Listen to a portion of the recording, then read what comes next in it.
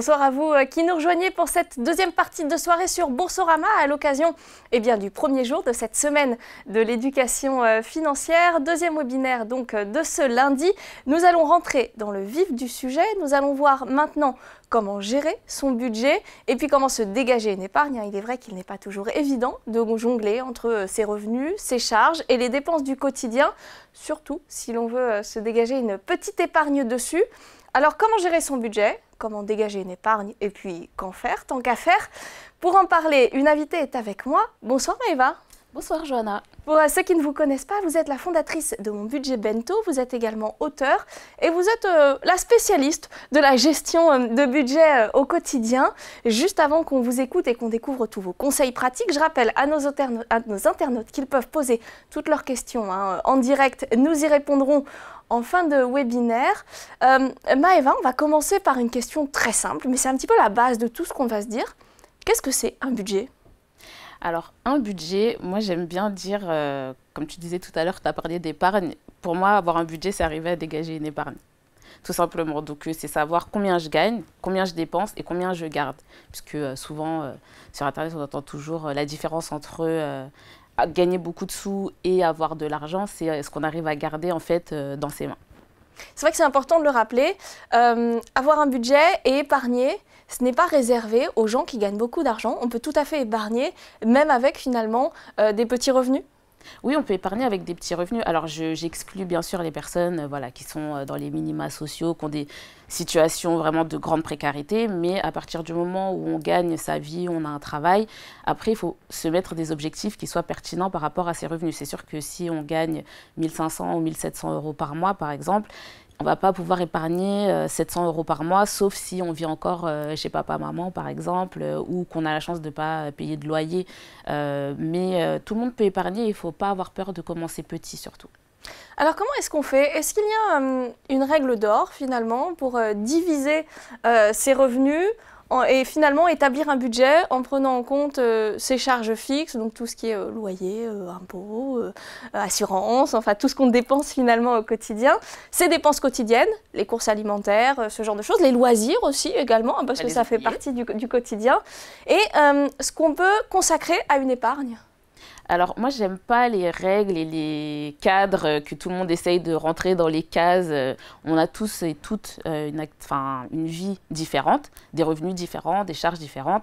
Euh, par exemple, une femme euh, célibataire, elle va pas avoir le même budget que un couple qui a trois ou quatre enfants, par exemple c'est normal qu'ils ne puissent pas euh, consacrer autant d'argent. Ça dépend aussi des revenus. Donc moi, je, pense que ce qui est important, c'est que chaque personne, et c'est pour ça que c'est euh, intéressant euh, des, activités comme vous faites aujourd'hui sur l'éducation financière, c'est qu'il faut essayer d'arrêter de faire des copier-coller de ce qu'on voit sur Internet et vraiment comprendre qu'on a la capacité de faire son propre budget qui va avec les contraintes qu'on a.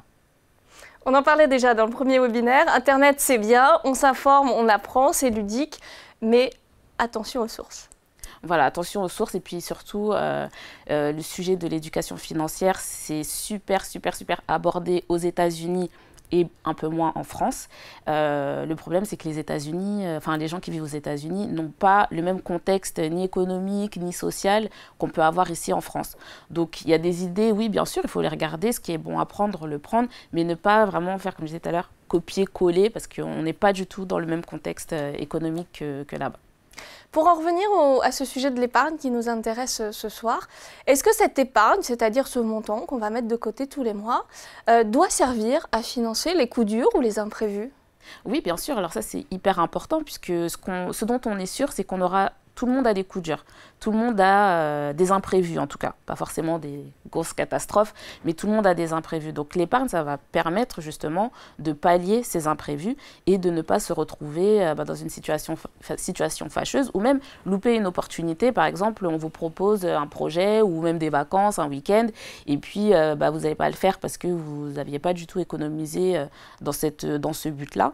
Donc bon, les vacances, c'est un truc un peu sympa. il y a des choses beaucoup moins sympas. Par exemple, des personnes qui vont être en arrêt maladie pendant très longtemps. Euh, ça, c'est pas quelque chose ni qu'on se souhaite euh, ni qu'on prévoit, mais il faut savoir que euh, malheureusement, ça peut arriver. Donc, avoir de l'épargne, oui, c'est important. Et ce qui est un peu frustrant, peut-être, je ne sais pas si c'est le bon terme, c'est que plus on a de petits revenus, plus l'épargne va être importante. Parce qu'en fait, si je gagne 5 000 euros par mois, en vrai, même si j'ai un imprévu de 1 000 euros dans le mois, ça ne va pas me changer la vie. Faire face. Voilà. Mais la personne qui, a, euh, qui gagne que 1500 euros, même si elle a un imprévu ne serait-ce que de 200 euros, bah pour elle, ça représente une grosse partie de ses, de ses revenus. Et du coup, c'est beaucoup plus difficile. Donc, moins on a un salaire important, et plus ça sera important de prévoir cette épargne. Donc, si je comprends bien, si je décide par exemple de mettre 250 euh, euros euh, d'épargne tous les mois, j'ai le droit d'y toucher Alors, moi, ce que je recommande, c'est de diviser son épargne. C'est-à-dire d'avoir une épargne de ce que tout le monde appelle l'épargne de précaution, qu'on va mettre de côté, mais là, c'est vraiment pour les coups durs et les imprévus, les vrais imprévus. Voilà. Un mariage, normalement, c'est pas un imprévu. Ensuite, il faut avoir une autre poche d'épargne qui va être ce que moi j'appelle les, enfin, que moi j'appelle, mais tout le monde peut appeler ça les provisions. Donc c'est par exemple, je sais que je vais faire une formation dans six mois, j'aurai besoin de 300, 500, 1000 euros. Donc je commence à mettre cet argent de côté, mais il est déjà dépensé dans ma tête. Il est déjà alloué à cette formation. Et puis, bah, y a la dernière partie, c'est la partie placement. Donc là, c'est quand on va aller chercher euh, du rendement, etc. Donc dans les provisions, bah, si jamais j'ai envie euh, de faire quelque chose, dans mes provisions aussi, je peux avoir un petit budget, ben, juste euh, fun en fait. Je ne sais pas encore ce que je vais faire avec, mais j'ai déjà prévu d'avoir des petits sous dedans. Et aussi, très important, tous les mois, avoir un budget argent de poche, moi ce que j'appelle argent de poche. Ça veut dire, c'est ton argent, tu fais ce que tu veux et tu peux le dépenser en une semaine ou en 30 jours, peu importe, mais tu te fais plaisir avec. Comment est-ce qu'on euh, doit euh, gérer ça de manière très concrète? Est-ce qu'on ouvre euh, un compte pour chaque, finalement, chaque enveloppe épargne Ou est-ce qu'on met tout sur le même compte et on se garde à l'ancienne un petit papier, je ne sais pas, quelque chose où on note ce qu'on a mis de côté et pour bah, quel usage? Aujourd'hui, c'est pas trop compliqué d'ouvrir un compte et puis il y a plusieurs euh, là, je vais vous apprendre euh, livret A, LDDS, euh, LEP, livret épargne populaire pour les personnes justement qui ont des revenus plus modestes. c'est déjà un peu du placement tout ça C'est du placement mais sans risque. Donc moi, pour moi, c'est oui, il y a un rendement avec, mais c'est sans risque. C'est pas les placements où on va aller, par exemple, sur les marchés financiers ou sur des entreprises, etc. Donc oui, il faut, c'est plus simple. Après, si on a envie d'avoir son, son, petit papier ou son Excel à côté, moi, j'ai pas de pas de problème avec ça, mais moi j'aime bien quand c'est assez simple et qu'en un coup d'œil, euh, je vois à peu près euh, où est-ce que j'en suis. Oui, il faut que ça reste pratique, que finalement ça soit pas chronophage ou euh, matière à se, triturer le cerveau parce qu'on cherche ce qui correspond finalement à quoi. Exactement. Et en plus, moi, il y a un truc dont j'ai horreur. Alors, je sais que dans le monde du budget, etc., il y a beaucoup de gens qui adorent euh, prendre des petites notes, écrire chaque dépense, etc. Mais je trouve que c'est beaucoup de temps utilisé pour pas grand-chose, parce qu'à la fin, on n'a pas plus d'argent, on n'est pas plus avancé. Donc, moi, je me dis, bah, quitte à utiliser, euh, je sais pas, 10 euh, minutes, 15, 15 minutes par semaine, je sais pas combien de temps les gens consacrent à, relever les dépenses, etc. Mais peut-être justement de plutôt passer une partie de ce temps-là, parce qu'il y a des personnes juste qui apprécient de le faire, euh, justement à s'éduquer sur des sujets qu'on ne connaît pas euh, pour, euh, un peu agrandir son horizon. Est-ce qu'il y a une somme minimum pour épargner? Est-ce que quelqu'un qui ne pourrait, parce que revenu, parce que charge élevée, parce que voilà, hein, des situations qui existent, qui ne pourrait finalement épargner que 50 ou 100 euros par mois, peut quand même le faire en, en espérant retirer quelque chose? Ah, mais bien sûr. Et puis, c'est même pas que ça. Ça peut même être 20 euros. Hein. Moi, franchement, je préfère même quelqu'un qui met, euh, je sais pas moi, 50 euros tous les mois et qui retire 30 euh, euros tous les mois. Parce que bon, j'essaye au début du mois. Règle très importante, c'est pas à la fin du mois qu'on épargne. Hein. C'est dès qu'on touche son salaire, euh, on met l'argent de côté. Et bien en fait, euh, si jamais je récupère l'argent, mais au moins je prends cette habitude de chaque mois, je vois cet argent qui sort de mon compte. Et puis, le fait de il faut bien commencer quelque part en fait. Si jamais on attend de pouvoir placer 100 euros, 200 euros, 300 euros par mois pour commencer à épargner, finalement, euh, surtout dans la société d'aujourd'hui, hein, euh, on marche deux minutes dans la rue, on peut dépenser euh, même 2000 euros, on n'a même pas besoin de sortir. tu vas sur ton téléphone, tu passes commande, tu peux vider ton compte en, 5 minutes en fait. Donc il faut vraiment, c'est le côté, voilà ce que je disais tout à l'heure, de, s'autonomiser, de ne pas chercher des solutions toutes cuite en fait, parce que ça ne va pas forcément correspondre en fait à ce dont on a besoin au moment où on cherche l'information. Donc on commence là où on peut commencer. Ça veut dire que la clé de tout ça, finalement, c'est la rigueur? Alors, soit la rigueur, soit l'organisation. Parce que moi, j'aime bien dire que je suis une très grande feignante. Euh, c'est très, très grave.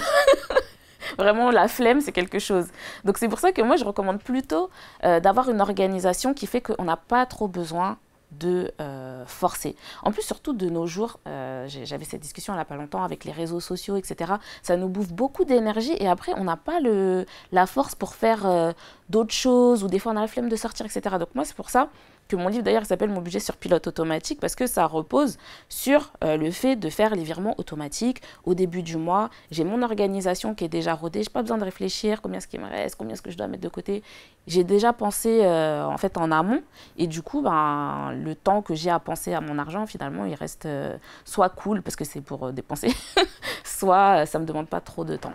Ça c'est un point important. Ça veut dire que quand on épargne, finalement, j'ai envie de dire, c'est pour le meilleur, euh, on peut complètement se passer de cette dimension chronophage euh, où finalement il faut euh, tout connaître, tout savoir pour avoir une épargne. Oui, en fait, faut, faut, souvent, il y a ce truc de Ah, mais je sais pas, je connais pas. Mais en fait, il faut juste commencer par les trucs simples sécurisé, simple, voilà. Une fois que j'ai fait mon petit truc, que ça, que ça roule, je commence à m'éduquer, la semaine de l'éducation financière, euh, sur Bourse Campus, ou peu importe, il y a tellement de ressources aujourd'hui, que ce soit pour les gens qui n'aiment pas forcément lire, il y a les vidéos, enfin aujourd'hui il y a les podcasts, tout à l'heure on parlait de podcasts, donc il y a de tout, il y a, de, il y a pour tous les goûts en fait. Vous avez des choses euh, précises à recommander euh, aux internautes qui voudraient apprendre à, gérer un budget? Des contenus? Oui. Euh, ah, je suis nulle à ça. Mais franchement, je pense que aujourd'hui, enfin avec Google, euh, on peut tout, tout, tout, tout, tout trouver très facilement. Euh, essayer de faire peut-être des requêtes plus spécifiques que juste comment épargner. oui, parce qu'il y a aussi le risque, et on l'a vu tout à l'heure dans le premier webinaire, de tomber sur des sources d'informations qui ne sont pas d'une grande fiabilité. Alors pour ça, en fait, il faut croiser les sources. C'est-à-dire qu'il ne faut pas prendre même par exemple les personnes qui me suivent sur les réseaux, ça ne me ferait pas plaisir de savoir qu'elles suivent que moi. Parce que moi, j'ai ma façon de voir les choses, j'ai ma façon de les présenter, j'ai aussi ma vision de la vie qui impacte aussi ce que je dis. Euh, on peut dire des choses vraies, mais euh, par exemple en politique, il y a des personnes qui ont des bords qui ne m'intéressent pas du tout, qui ont des vues qui sont vraies de leur point de vue, mais pas du mien en fait. Donc c'est pour ça qu'il faut toujours croiser les sources et ne jamais se fier qu'à une seule source. Et il faut faire attention. Euh, euh, continuer d'utiliser les moteurs de recherche parce que sur les réseaux sociaux, tout est biaisé. Si on a liké un type de contenu, ça va nous ramener le même type, le même type de contenu. Si jamais, bah, par malheur, on a été un peu plus attiré par les vendeurs de, rêves, bon, bah, ça va s'enchaîner les vidéos de, de, de, vendeurs de rêves. Donc euh, voilà, cherchez un peu, il y a beaucoup de plateformes, euh, beaucoup de contenu, pas que les vidéos sur les réseaux, il y a aussi voilà, les podcasts. Les podcasts, je, trouve que les podcasts, c'est quand même assez qualitatif parce que euh, ça demande du travail. Plus que de se mettre devant sa vidéo. Alors Est-ce qu'il y a euh, des erreurs fréquentes qui ne le sont pas forcément, mais à ne pas commettre quand on veut euh, épargner? Vous l'avez dit tout à l'heure, ça je pense que c'est important de le rappeler, on a le droit de toucher à la somme qu'on a épargnée, euh, c'est pas interdit. Mhm. Est-ce qu'il y a d'autres écueils dans lesquels il ne faut pas tomber? Le premier écueil, c'est de partir trop tôt de chez ses parents. Je sais que personne n'a envie d'entendre ça. Moi, la première, je suis partie à 22 ans. Mais c'est la meilleure source d'économie possible. Quand on peut rester, voilà, qu'on est dans une famille euh, qui n'est pas toxique ou machin, etc., bah, en fait, juste de euh, retarder le départ de la maison de 6 mois, 1 an. Bon, après, vous n'êtes pas obligé de vous transformer en Tanguy non plus. mais, mais voilà, de, de, de retarder ce moment-là entre le moment où on commence à travailler, en fait, c'est pas dès que j'ai signé mon premier CDD ou mon CDI, ah, je m'empresse d'aller chercher une location, etc., pour pouvoir faire la vie d'avocat. Voilà, de plutôt essayer de se dire, mais en fait, euh, si j'attends six mois, en fait, je vais mettre l'équivalent de peut-être euh, un an d'épargne à part quand j'aurai à payer euh, un loyer. Donc ça, c'est un hack de ouf. Mais le problème, en, règle générale, c'est qu'on s'en rend compte trop tard. Est-ce que ça aide, pour rebondir sur ce que vous venez de dire, de démarrer avec une première épargne pour continuer ensuite à épargner. Euh, alors quand tu dis, quand vous Est-ce que c'est un, bon, un bon push euh, Est-ce que finalement quand on, se met à épargner tous les mois sur son salaire, mais qu'on a déjà une épargne existante, c'est un avantage? Non, j'ai pas envie de dire que c'est un avantage parce que en vrai, euh, comme je disais tout à l'heure, il faut bien commencer quelque part. Parce que commencer avec une épargne, ça veut dire quoi? Que nos parents nous ont donné de l'argent. C'est pas nous qui. Ou qu'on a mis de côté euh, les premières années. Ah oui, oui, dans ce cas-là. Oui, oui. Ben, bien sûr, bien sûr. En fait, euh, l'argent, je parlais de ça avec mon frère hier. Je disais, l'argent, c'est un peu comme un escalier. Et en fait, monter les marches, c'est toujours des grands pas. Mais pour redescendre les marches, en fait, ça prend plus de temps. Donc en fait, euh, plus on prend de l'avance, et donc on se constitue euh, une épargne, comme vous le disiez, eh ben effectivement, oui, c'est un avantage euh, certain, parce qu'en fait, au lieu de tomber dans un trou, par exemple, bah, ah, j'ai un problème avec ma voiture, ah, je suis obligée de prendre un crédit juste pour payer une réparation. Et donc là, maintenant, j'ai un crédit sur le dos qui m'empêche d'épargner. Donc là, on tombe dans un cercle vicieux. Alors que bah, si jamais on avait cette épargne de côté, on n'a pas besoin, on n'a pas, pas un poids sur le dos pendant euh, X mois pour euh, récupérer euh, le crédit. Donc oui, oui, oui, c'est un grand avantage. Effectivement. Vous parliez tout à l'heure de cette épargne, de la placer sur un livret A, par exemple. Est-ce que on doit forcément faire travailler son épargne? Mais si c'est pas nous qui la faisons travailler, c'est quelqu'un d'autre qui la fait travailler. C'est-à-dire? Bah, Tout l'argent qui est dans, dans, la banque, la banque utilise notre argent en fait. Donc si on n'a pas de, raison particulière de ne pas placer son argent, euh, surtout quand c'est un support euh, sécurisé. Après, quand on va sur des supports qui ne sont pas sécurisés, comme bah, la bourse, voilà, dans ce cas-là, il faut faire en fonction bah, de ses connaissances, de sa personnalité aussi, parce qu'il y a des personnes, elles ont eu trop longtemps des livrets, et donc dès qu'elles voient une petite baisse, panique totale, ah, ça je reprends mon argent, etc. Donc euh, oui, moi je suis plutôt de dire qu'il faut faire travailler son argent. Par contre, euh, l'épargne de précaution dont on a parlé tout à l'heure, il ne faut pas la faire travailler. Parce que qui dit travailler dit prendre du risque. Ça va toujours ensemble. Un rendement, risque, ça va toujours ensemble. Donc du coup, si jamais je prends mon épargne de précaution pour la faire travailler, et qu'il y a un gros problème sur les... Bah, par exemple, quand il y a le Covid et que tout dévisse sur les marchés, et que là j'ai mon imprévu qui arrive, bah, là je l'ai dans l'os en fait. Donc euh, oui, il faut faire travailler son argent, mais pas son épargne de précaution. Est-ce qu'il y a une bonne méthode pour épargner On l'a dit, mettre de côté en début de mois, pas en fin, ça c'était une question euh, qui est revenue hein, de, nos internautes. D'autres euh, bons conseils comme ça pour épargner correctement? Euh, ben, De manière automatique, ne pas le faire à la main. Parce que qui dit faire à la main dit possiblement oublier, tout simplement. Et sinon, les autres conseils, non, je pense que, c'est ce qui fonctionne pour tout le monde, c'est ça. Après, euh, il faut euh, penser à diversifier aussi, euh, ne pas mettre tous ses œufs dans le même panier. par exemple, se dire ah ben moi je vais faire que des actions de telle entreprise, ou alors je vais faire que de l'immobilier. oui, le principe de diversification, voilà. qui celui qu'on applique de toute façon à tout investissement. On, on C'est pas tout le monde qui le fait. Hein. Non, non, bien sûr. En tout cas, on le recommande. Voilà. on, on l'a dit, il est jamais trop tôt pour épargner. Euh, est-ce que ça a du sens d'éduquer nos, jeunes, euh, nos enfants, à mettre un peu d'argent de poche de côté? Oui, alors je pense que c'est important d'inculquer ça aux enfants, que pour eux, en fait, ça devienne un réflexe et pas un effort.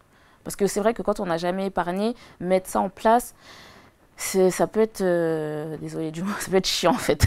Alors que si on a eu l'habitude depuis plus jeune de ne pas utiliser, ben, par exemple, tout l'argent qu'on a eu à Noël ou à son anniversaire, même si c'est une petite somme, euh, je sais qu'il y a des personnes qui disent moitié-moitié, il y en a qui disent un tiers, deux tiers, peu importe, mais juste qu'il y ait ce petit réflexe de ah, à chaque fois que j'ai une entrée d'argent, je, mets, euh, je mets un petit peu de, sous de côté. Merci Maëva. On vient de se dire pas mal de choses euh, là pendant 20 minutes. on n'en a pas terminé. Évidemment, je voudrais juste qu'on marque une petite pause avec une vidéo qui va nous résumer tout ce qu'on vient de se dire. Et puis ensuite, on répondra eh bien, à toutes les questions que vous avez souhaité poser à Maëva.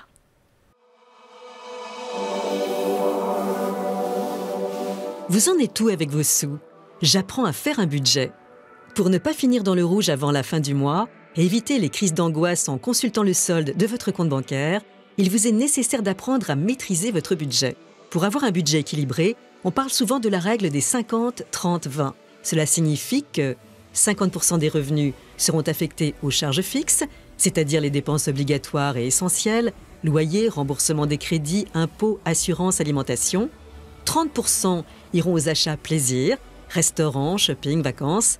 20% seront consacrés à l'épargne qui servira à réaliser de futurs projets. Exemple, je gagne 2000 euros par mois, 1000 euros vont à mes charges fixes, 600 euros à mes dépenses plaisir et j'épargne 400 euros. Voilà pour le principe. Car dans la vraie vie, l'équation 50-30-20 n'est pas toujours adéquate. D'abord parce que le coût de la vie n'est pas le même partout, en particulier celui de l'immobilier. Ensuite, parce que plus votre salaire est faible, plus les charges vont prendre une place importante dans votre budget. À l'inverse, plus vos revenus sont élevés et plus votre capacité d'épargne va l'être. Enfin, parce que votre âge et votre situation personnelle sont des facteurs déterminants. Entre un jeune actif qui vit encore chez ses parents et ne paye pas de loyer, et un quinquagénaire qui doit payer les études de ses enfants, la capacité d'épargne n'est pas du tout la même. Puis bien sûr, il ne faut pas négliger la dimension psychologique et votre rapport à l'argent. Si certains sont plutôt économes et prudents de nature, d'autres cèdent plus facilement à la tentation. Soyez donc honnête avec vous-même. Inutile de vous serrer la ceinture pendant six mois si vous craquez ensuite et dépensez l'intégralité de l'argent économisé en shopping. Bref, en matière de budget, chacun doit évaluer sa situation pour mettre au point la formule qui lui convient. Mais quelques règles de base doivent être intégrées. Règle numéro 1, faites le point sur vos dépenses et vos recettes. Reprenez vos relevés de compte du mois précédent et notez tout. Certaines dépenses sont incompressibles, d'autres au contraire peuvent certainement être éliminées. Si chaque jour, sur le chemin du travail, vous dépensez 6 euros dans un latte macchiato, faites le compte à la fin du mois.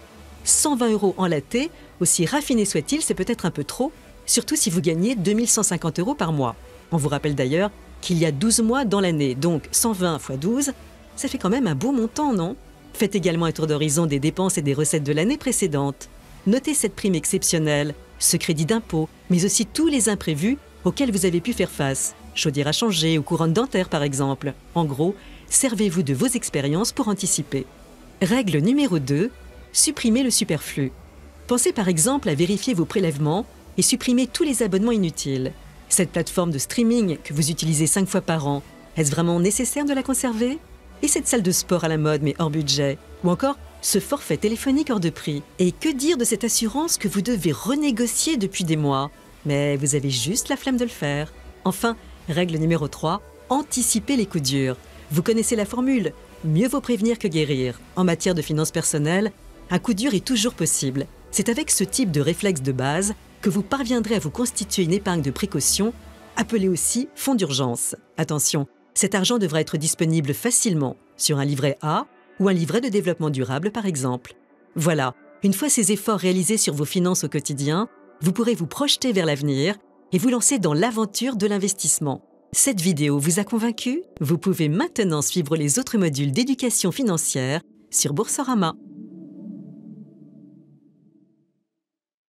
Voilà quelques euh, conseils supplémentaires hein, pour apprendre à gérer son budget. Maëva, juste avant de répondre aux, questions d'internautes, ce qui nous a frappé dans cette vidéo, euh, on a beaucoup souri, c'est que euh, il y a toutes ces toutes petites dépenses quotidiennes qui reviennent et qui vont suffire à plomber un budget finalement. Bah, plus elles sont petites, en tout cas anodines, on va dire, parce qu'à coût de 10 euros, 20 euros, 25 euros, on se dit, ah bon, c'est pas grand chose, mais c'est clair que si on les cumule toutes à la fin, ça fait un bon pactole. Alors, euh, Maëva, on a pas mal de, questions euh, d'internautes hein, qui veulent vraiment apprendre à, gérer euh, ce budget. Et il y en a une, je, sais que vous, êtes très, vous y êtes très sensible, c'est une question d'Amandine qui nous demande, qui vous demande si la méthode des enveloppes tellement populaire sur les réseaux sociaux est réellement efficace. Alors, comme j'ai dit tout à l'heure, Ma réponse, c'est ma façon de voir les choses. Alors juste, on va rappeler peut-être pour les internautes euh, qui ne voient pas de quoi on parle, c'est finalement de tirer son argent en liquide et de le placer dans des pochettes pour les dédier à un pôle de, dépenses. Oui. Alors en fait, moi, la méthode, ça me va, le fait de compartimenter. Euh, mais par contre, c'est l'exécution que je, que je trouve, euh, en fait, et no offense aux personnes qui font ça, mais je trouve ça trop infantilisant. Je, je, trouve que c'est hyper ciblé sur les femmes. Euh, le truc un peu dinette, euh, on joue à la, à la, marchande avec ses petits billets et tout. J'ai horreur de ça. Euh, je trouve que c'est bien, comme je disais, d'avoir une bonne vision, de savoir combien j'ai pour chaque, chaque poste de dépense Il n'y a pas besoin de faire euh, un truc pour l'esthéticienne, un truc pour la coiffeuse. Bon, c'est le truc beauté, c'est bon, on a compris. Pas besoin d'aller dans le détail, etc.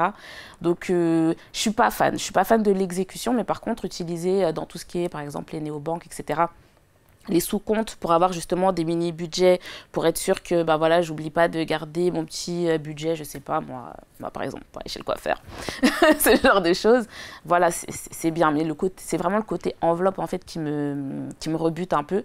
Après, voilà, il y a le côté un peu psychologique de voir l'argent qui diminue et tout, mais je suis pas fan. Oui, c'était la, suite de, la question. Euh, il y a beaucoup de gens pour qui avoir de l'argent liquide, et puis finalement ne plus en avoir quand on a tout dépensé, aide à prendre conscience également des dépenses. Vous, ce que vous préconisez plutôt, euh, c'est d'avoir un, compte sans, euh, sans découvert, où une fois qu'on a tout dépensé, bah, finalement c'est comme l'argent liquide. Oui, voilà, et puis à la fin, enfin, moi, enfin, encore une fois, c'est mon, ma perception. Moi, que je vais écrire 20 euros dans mon application ou que j'ai un billet de 20 euros, et je vois pas de pour moi je fais pas de différence en fait. Et moi je suis plutôt dans la team des gens qui voilà si j'ai un billet de 20 euros à la fin de la journée je ne sais pas comment je l'ai dépensé je sais juste qu'il est plus dans mon sac c'est déjà pas mal euh, Anastasia vous demande quels conseils spécifiques recommandez-vous aux étudiants pour apprendre à gérer leur budget de manière efficace? C'est une grande question. Hein. Les étudiants qui ont souvent des revenus qui sont quand même plus limités que les actifs, euh, des dépenses qui sont quasiment les mêmes, hein, des loyers, des charges, euh, des, budgets euh, nourriture et des dépenses quotidiennes. Comment est-ce qu'on gère ça? Bah, Déjà, ne vous mettez pas trop la pression. Parce qu'il y a des gens qui ont des vrais salaires qui n'arrivent pas à s'en sortir. Donc, quand on est étudiant, il faut aussi être réaliste par rapport entre ses charges et les revenus qu'on a, euh, de quand même essayer d'épargner. Comme je disais, c'est pas grave si, au cours du mois tu récupères euh, quelques euros, euh, mais de prendre cette habitude parce que même si ça sera pas forcément super fructueux en tant qu'étudiant, c'est une habitude qu'on aura pris et quand on va être salarié, du coup, on va pouvoir mettre ça en place, bien sûr avec d'autres montants. Après, bah, étudiants, regardez bien tout ce qui est les réductions pour les étudiants, euh, pour les moins de 25 ans. Enfin voilà, vous avez des offres, etc. Après, euh, faut pas vous tuer à la tâche pour le travail. Moi, j'ai un peu du mal avec ça, de me dire euh, normalement vous devrez être en train plutôt de vous consacrer sur euh, votre apprentissage. Il y a des comptes, bah, on parlait des réseaux, il y a pas mal de comptes. Je pense notamment à grimpe.fr qui est pas mal. Elle donne plein de conseils pour les étudiants, etc. Bon, je crois qu'elle est plus étudiante maintenant, justement, mais elle donne plein de conseils. Et, euh, et voilà, je trouve que c'est. Ils ont des ressources, mais malheureusement, après, ne cherchez pas à faire l'impossible non plus avec les revenus que vous avez. Jean-Charles demande euh, comment faire pour euh, maintenir sa capacité d'épargne dans un contexte inflationniste? Il souligne que l'inflation alimentaire a atteint 17%. Euh, Je pense que c'est un sujet qui concerne les étudiants, mais qui concerne finalement tous les ménages. Hein. cette hausse des, des dépenses, est-ce que ça veut dire qu'on doit revoir son budget pour augmenter l'enveloppe consacrée aux dépenses quotidiennes? Exactement. Et du coup, on tire sur quelle épargne? Alors, euh, en fait, déjà, l'épargne, ça va dépendre de plein de choses. Parce que par exemple, l'épargne de précaution, une fois qu'on a fini de constituer son épargne de précaution, on n'a pas besoin de continuer à ajouter euh, indéfiniment de l'argent euh, dessus. Donc, on va peut-être réduire, par exemple, sur les vacances ou sur certains loisirs. Euh, ou sur l'argent de poche, par exemple, si on avait un budget de 200 euros, je fais ce que je veux avec, ben peut-être que ça sera plus que 150 et je remettrai 50 euh, euros dans la partie euh, pour les courses. Mais ça, c'est vrai que c'est important de, bah, de réactualiser, surtout en période de forte inflation, son budget. Et puis aussi, n'oubliez pas que le budget, ça, ça ne se gère pas que en aval, ça se gère en amont aussi. Donc, allez chercher votre respect, comme j'aime le dire. Il faut aller euh, demander sa promotion, demander une augmentation et de ne pas attendre que par magie, euh, le manager va venir nous voir avec euh, la superbe promotion de l'année, en fait. Donc, moi, je ne suis pas trop partisane du truc de se serrer la ceinture. Euh, bah, d'ailleurs, vous en parliez dans la vidéo, de se serrer la ceinture euh, de malade. Au bout d'un moment aussi, euh, il faut aller, il faut, juste se faire payer ce qu'on mérite d'être payé, tout simplement. Une question sur le même sujet, et puis on terminera avec une dernière. quelles sont vos recommandations du montant d'épargne en pourcentage de ce qu'on gagne? Alors, minimum 10%. Donc, essayez de viser les 10%, même si vous récupérez un petit épargne en général, après à diviser. Voilà, minimum, minimum 10%. Mais quand on est à 10%, c'est que déjà, on n'a pas un gros salaire. Après, 20%, c'est bien. Et après, pour les personnes qui gagnent vraiment bien leur vie ou qui ont des charges relativement basses, vous pouvez aller à 30, à 40. Enfin, après, le La limite, c'est votre capacité de, à réduire bah, vos, votre, votre, les dépenses de tous les jours, en fait. On va terminer sur cette question qui est également le, sujet pour, pour pas mal de Français. C'est celle de Sonia. Comment gérer son budget et épargner quand ses revenus sont fluctuants? Ah, alors ça, euh, moi ce que je recommande, parce que moi je suis commerciale. Mon budget bento, c'est pas mon vrai métier. Hein. donc moi je suis commerciale, donc du coup effectivement j'ai des... un fixe. Et un fixe et un variable. voilà exactement. Et en plus le variable il n'est pas payé tous les mois, il est payé euh, tous les trimestres. Donc en fait en gros j'ai un salaire normal et un salaire si je réussis mes objectifs bien sûr. Euh, et donc du coup ce que je recommande c'est d'avoir un budget tampon. Donc le budget tampon c'est quoi? C'est de se dire ben en fait pour vivre j'ai besoin de cette somme là les mois où je n'ai pas mes primes, il me manque, je dis n'importe quoi, 200 euros, et eh bien en fait, les mois où je vais toucher mes primes, je vais mettre systématiquement ce budget tampon de côté. Donc là, il faut une autre enveloppe d'épargne. Tout à l'heure, j'ai dit euh, précaution, provision et placement. Ben là, il faut une quatrième où ça va être mon budget tampon, où les mois où ben, je suis en dessous de ce dont j'ai besoin pour vivre chaque mois, je vais aller piocher dedans pour pouvoir en fait euh, euh, harmoniser mon revenu tout au long de l'année. Merci beaucoup Maëva pour euh, tous ces conseils. Euh, on a encore beaucoup de questions. Malheureusement, le temps nous manque un peu. On peut quand même euh, orienter nos internautes vers votre site, hein, mon, mon, budget bento. merci en tout cas d'avoir été avec nous pour cette première soirée de l'éducation, de, de, la semaine de l'éducation financière sur Boursorama. Ça se poursuit d'ailleurs. Demain, vous retrouverez Laurent Grassin pour faire le tour, apprendre à repérer les fraudes et les arnaques. Ce sera à 18h30. N'oubliez pas que vous pouvez encore euh, vous inscrire hein, euh, via le site de Boursorama sur tous les webinaires qui vont vous être proposés jusqu'à jeudi. Quant à nous, on se retrouve eh mercredi soir à 18h30 pour apprendre à définir son profil d'investisseur et pour découvrir tous les produits et les termes à connaître pour bien investir. Je vous souhaite une très belle soirée.